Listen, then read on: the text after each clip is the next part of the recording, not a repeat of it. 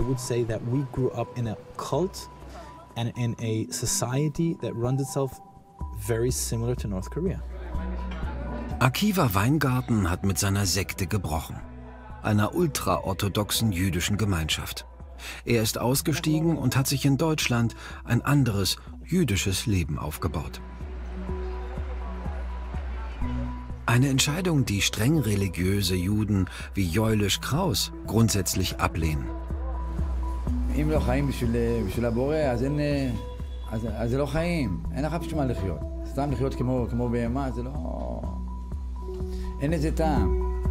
Aber immer mehr junge Orthodoxe wollen nicht mehr nur für Gott leben. Und viele von ihnen zieht es ausgerechnet nach Deutschland.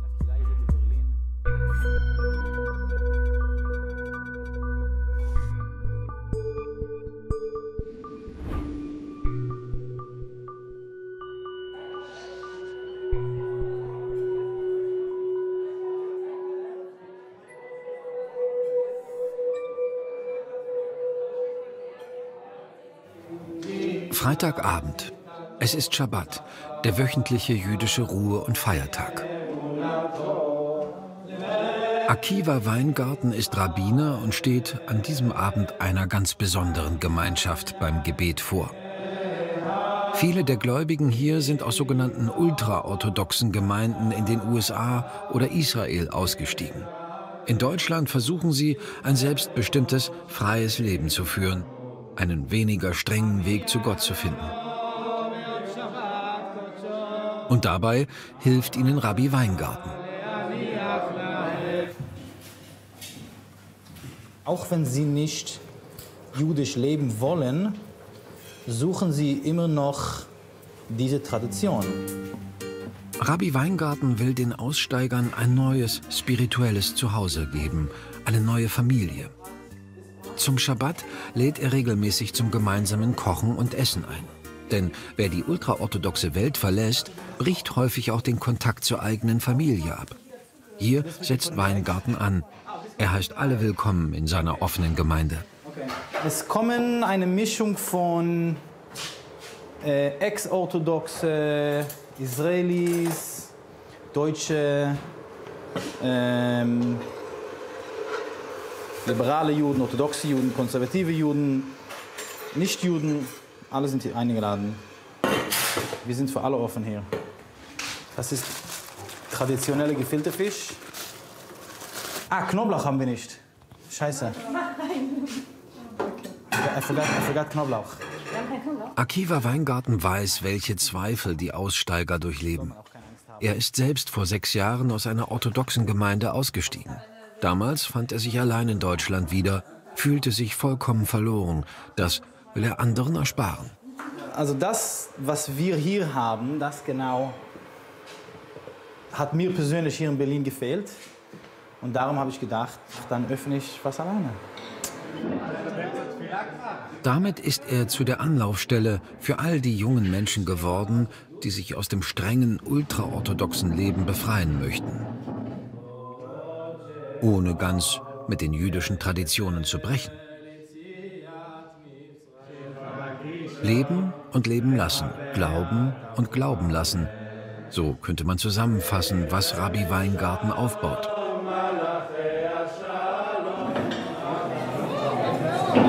Ich glaube, es ist egal ob man an Gott glaubt oder nicht.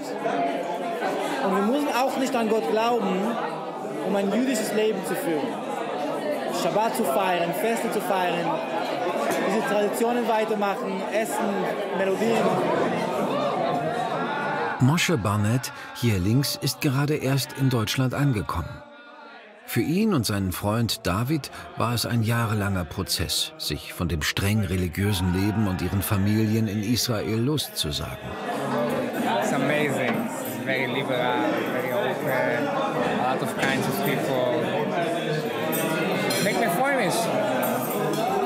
It's very different from the from what I was uh, used to be to Aber vieles erinnert eben auch an zu Hause, wie der Cholent, ein klassisches jüdisches Schabbatgericht aus Bohnen, Kartoffeln und Graupen. Essen gegen das Heimweh. Uh, cholent, it's the type of food I prepared also by myself. So I have my own proud to say my own is the best, but uh, no, it's good. Moshe Barnett will sein neues Leben, das nicht mehr nur von Religion geprägt ist, bewusst in Deutschland aufbauen. It's something we didn't do at all. Maybe didn't have the choice to do it at it's like we op- we have like open choices, multiple of cho- choices to choose what to do and to choose the real direction. Maybe we want to choose in life. It's part of it. I'm sitting here now.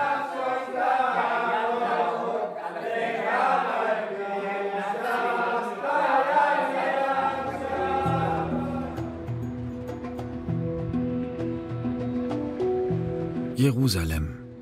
Unweit der berühmten Altstadt liegt die Welt, der Moshe Barnett den Rücken gekehrt hat. Im ultraorthodoxen Viertel Mea Shearim. Die Vorfahren vieler Familien hier waren Überlebende des Holocaust. Nach dem Zweiten Weltkrieg hatten sie sich hier angesiedelt.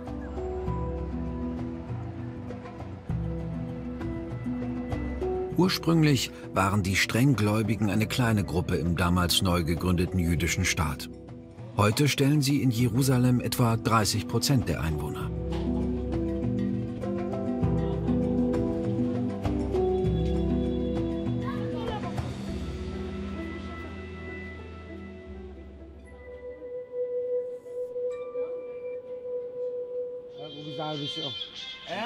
Zu ihnen gehört Jeulisch Kraus. Im Gegensatz zu den Familien der Aussteiger gewährt er einen Einblick in das von der Außenwelt üblicherweise abgeschottete orthodoxe Leben. Kraus lebt mit seiner Frau Esther, die nicht vor die Kamera möchte, und ihren 18 Kindern in einer Zweizimmerwohnung. Der Alltag ist bestimmt von Gebeten und religiösen Studien. Genau dieses Leben ist es, das die Aussteiger um Rabbiner Weingarten in Deutschland nicht mehr ertragen konnten. ולעשות כל מה שהשם רוצה. זה, זה כל היום ו, וכל יום, כל שעה. אם את עושה לאיזושהי מטרה, אז זה הדבר הכי טוב, זה הכי קל גם. אם לא חיים בשביל, בשביל הבורא, אז אין... אז, אז זה לא חיים, אין לך בשביל מה לחיות. סתם לחיות כמו, כמו בהמה, זה לא... אין לזה טעם. Jeder Aspekt des Alltags ist geregelt. Jeulisch untersucht die Bohnen auf Insekten.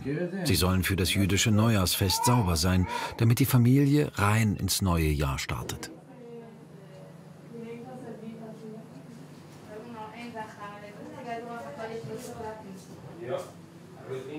Glaube und Aberglaube bestimmen das Leben.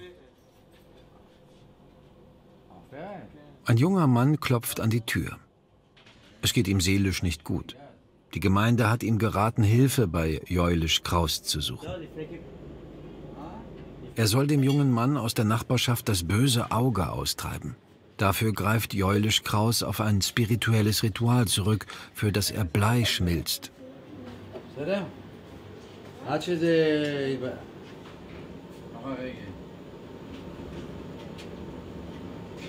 Er gießt es dem jungen Mann symbolisch über dem Kopf aus, was nach langen überlieferten Traditionen in solchen Fällen helfen soll.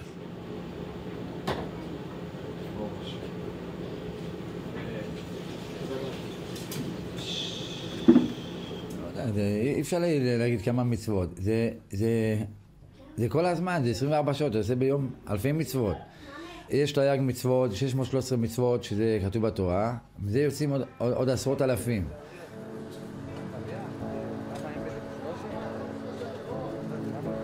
Das Leben, das Jeulisch Kraus führt, hat sich seit Jahrhunderten kaum verändert. Ein Leben, das etwas anderes als Gott in den Mittelpunkt stellt, ist nicht vorgesehen. Und die Moderne, die Welt da draußen, wird meist als Bedrohung wahrgenommen. Die Kinder lernen in der Schule überwiegend Religiöses. Naturwissenschaften oder Geschichte gehören nicht zum Stundenplan. Mädchen und Jungen werden jung verheiratet, um möglichst große Familien zu gründen.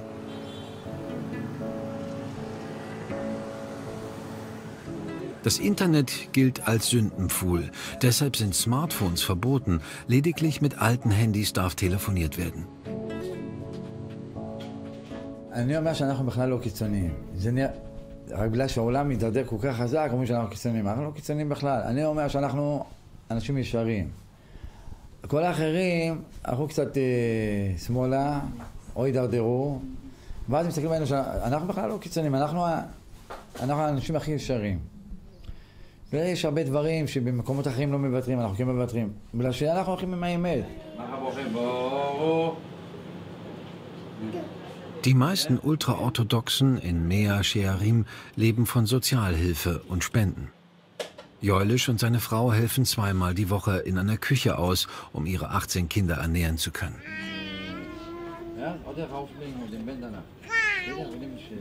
Die Töchter müssen von klein auf mit anpacken und werden so auf ihre Rolle als Hausfrau und Mutter vorbereitet.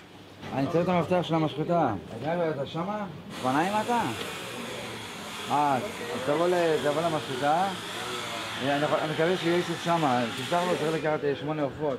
תן לו את המפתח בינתיים, הוא יחזיר לך את זה עוד חצי שעה. טוב. Das streng geregelte Leben nach religiösen Geboten und jahrtausendealten Traditionen gibt vielen Menschen Halt. Eine wachsende Zahl junger Ultraorthodoxer jedoch kommt nicht mehr damit klar, fühlt sich eingeengt und reglementiert. Jeulisch Kraus ist sich sicher, dass seine Kinder nicht dazugehören werden. Aber was, wenn doch? לא, אם היה רוצה לצאת נגד לראות עולם, הייתי אומר לו, תצא, תראה, ואני אומר לך מעכשיו שאין מה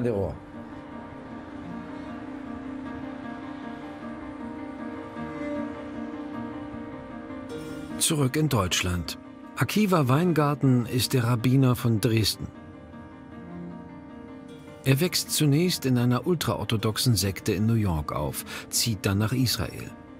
Dort lebt er ein Leben wie Jeulisch Kraus.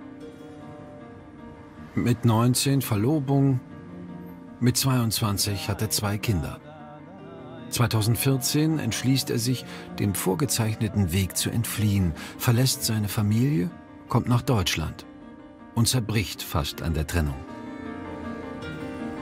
In the first few months that I was in Berlin, I would not stand near a window on a higher floor because I was afraid I would jump. That's how hard it was. Diese Einsamkeit, der plötzliche Verlust der Familie, die die Aussteiger meistens verstößt, damit ist schwer klarzukommen. Rabbi Weingarten hatte Glück. Er fand mit Rosa eine neue Lebensgefährtin und eine Stelle als Rabbiner der jüdischen Gemeinde zu Dresden.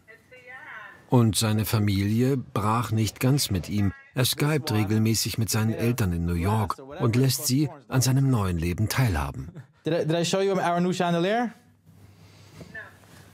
Oh my goodness, it's gorgeous. Where did you get it? so Hungarian. How'd you- It's so I was gonna say it's so Hungarian. It is. 16. You have already 16 students? I mean, only seven are here. I read your newsletters very carefully. Auch die Töchter Miri und Malki aus seiner ersten Ehe sind bei dem Gespräch aus Israel dazugeschaltet. Normalerweise reist er alle drei Monate nach Israel, um sie zu sehen. Wegen Corona geht das seit Februar nicht mehr. Miriam hat Shabbat? מי לא מאורגנת, מלכי? לא, גם את מאורגנת. אתם הולכים לישון עוד? Weingartens Ex-Frau lebt noch immer ein ultraorthodoxes Leben. Sie hat den Kontakt abgebrochen, ist bei den Telefonaten mit den Kindern nie dabei. כאלה ישנו לי עוד משהו.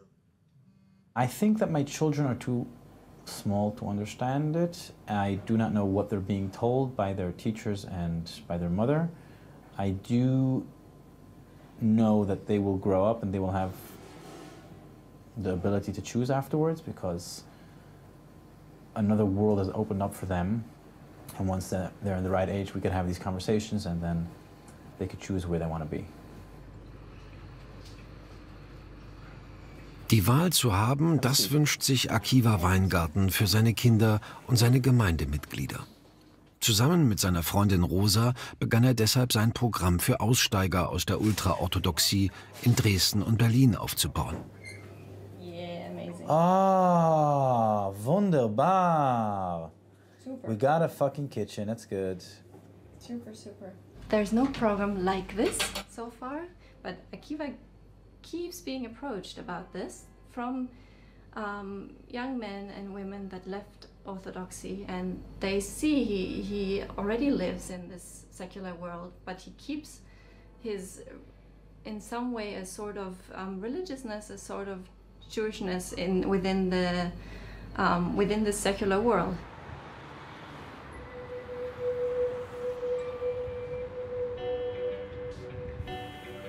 Genau das wünscht sich auch Moshe Barnett. Auch er stammt aus einer ultraorthodoxen Gemeinde in Israel.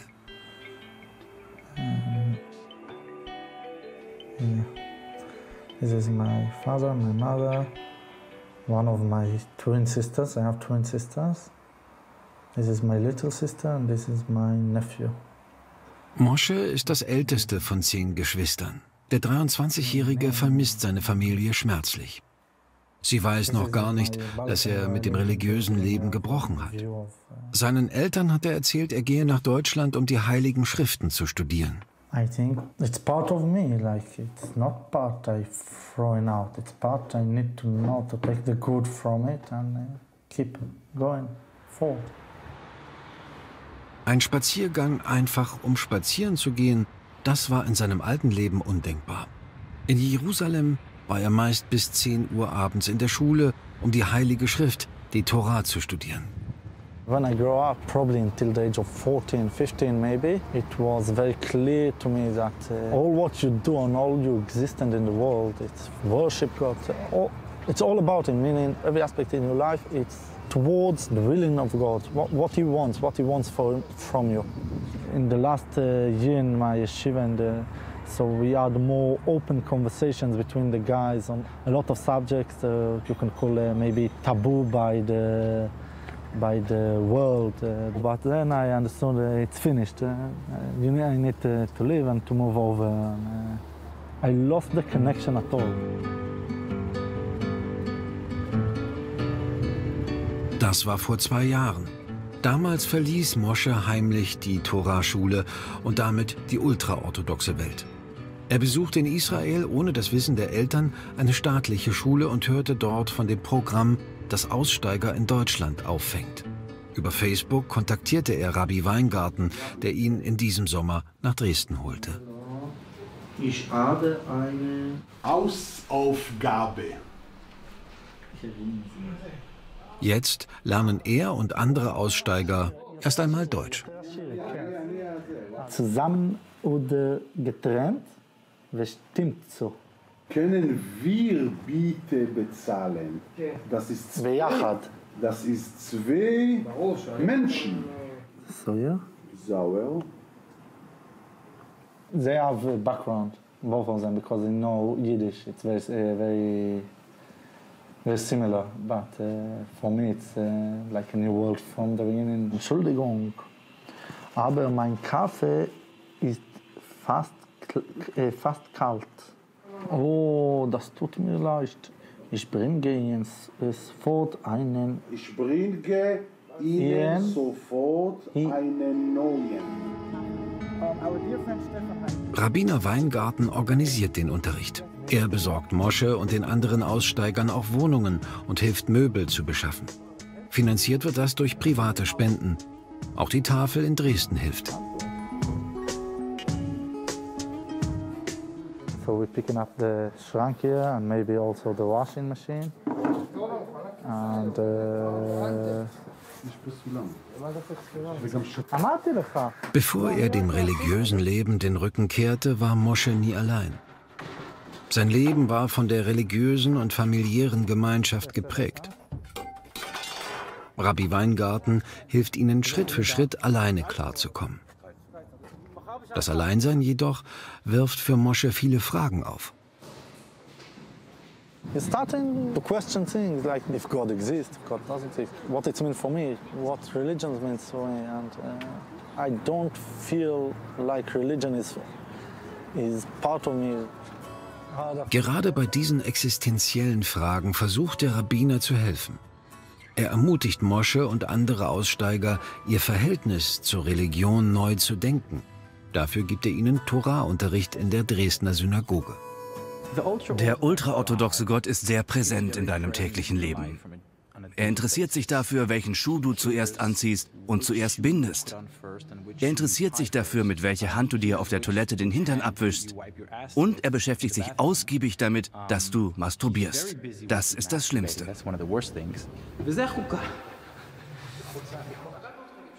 At some point, he just vanished. So the closest person to me that was there from the moment I was born until the moment I believed he doesn't exist just vanished all of a sudden.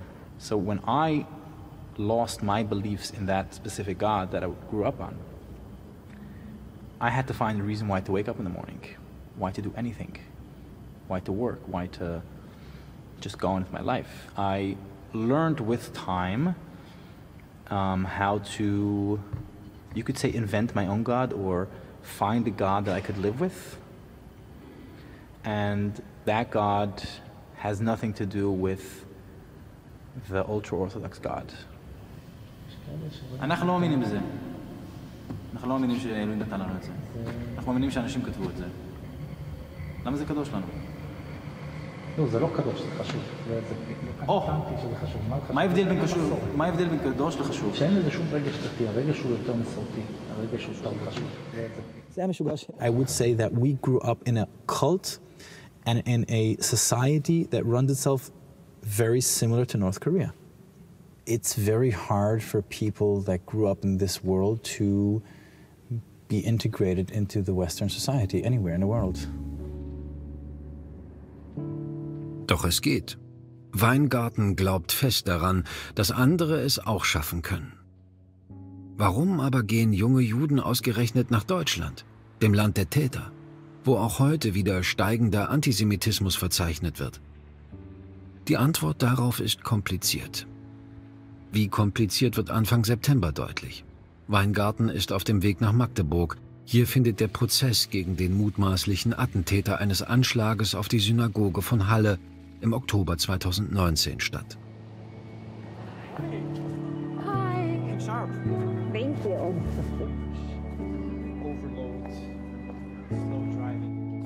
Weingarten ist gekommen, um einer Überlebenden des Anschlags im Prozess beizustehen. Christina Feist war vor Ort, als der Täter versuchte, mit Sprengsätzen in das jüdische Gotteshaus einzudringen.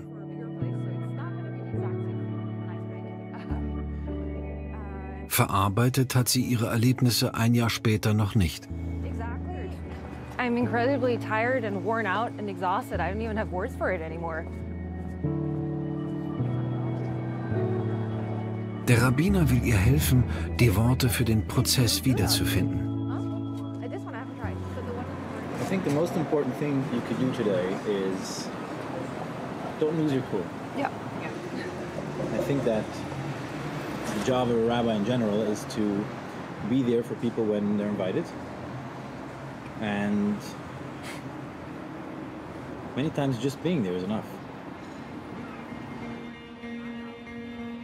Der Rabbiner weicht seiner alten Freundin vor ihrem schwierigen Prozessauftritt nicht von der Seite. Christina Feist wird während des Prozesses die Stunden des Schreckens neu durchleben müssen. Stunden, die zwei Menschen das Leben gekostet haben. Die Staatsanwaltschaft hat den Täter wegen Mordes in zwei Fällen sowie versuchten Mordes in 68 Fällen angeklagt. Der ganze Prozess bringt Akiva auf die Frage zu seinem Verhältnis zu Deutschland zurück. We have a very complicated relationship with Germany in general. Uh, both my grandparents were in Auschwitz. And I think that the general German population are not Nazis. And they feel terrible about what happened. And it looks like they're trying to do whatever they can to make it right with us.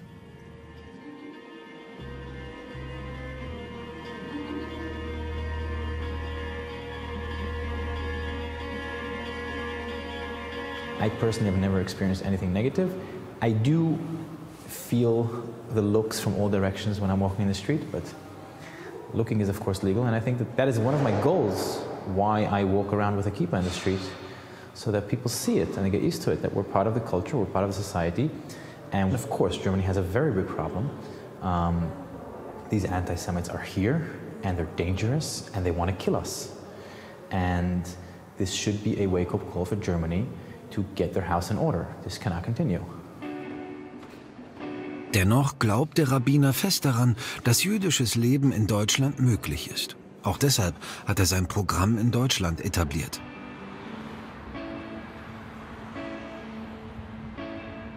In Berlin lebt ein langjähriger Freund von Weingarten vor, wie so ein Neustart in Deutschland gelingen kann. Der Fotograf Benjamin Reich hat den Rabbiner zu seiner Ausstellung eingeladen. Auch Benjamin Reich entstammt einer ultrareligiösen Familie aus Israel.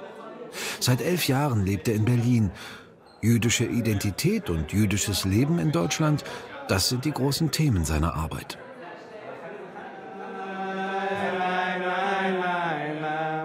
Seine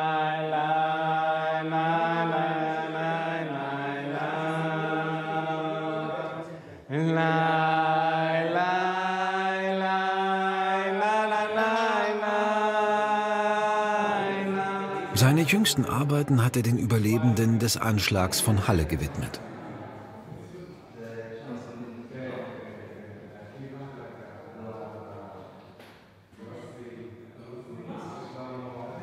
Wir leben, wie wir leben. Ich finde, es gibt genug Leute, die sind äh, auch äh, tolerant und offen.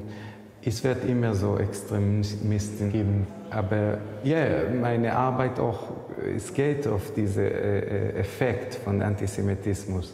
Aber ich möchte die äh, Licht bringen von äh, die Leute, wie die leben hier in Berlin und wie sie gut fühlt. Ähm, also die guten Aspekte. Eine zweite Säule seiner Ausstellung ist das Verhältnis ehemaliger Ultraorthodoxer wie ihm zu Deutschland und der Geschichte des Holocaust. Das ist ein starkes Trauma, das mit uns wächst. Und, äh, und da wollte ich etwas, ein, die Kreis schließen und die zusammenbringen. Auf seinen Bildern vermählt er deshalb symbolisch Juden und Deutsche.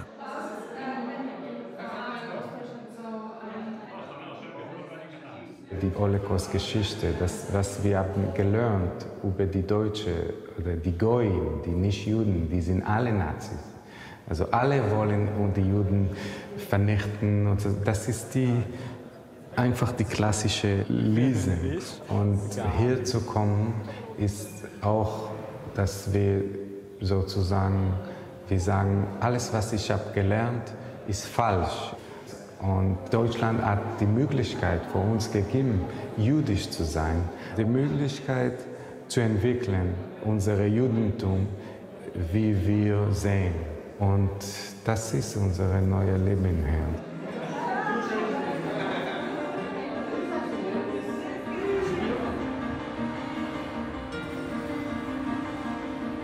Zurück in Dresden.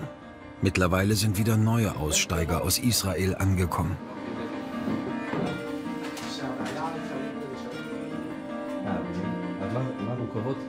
Moshe Barnett lässt die Neuankömmlinge Afromi und seine Freundin Menucci erst einmal erzählen.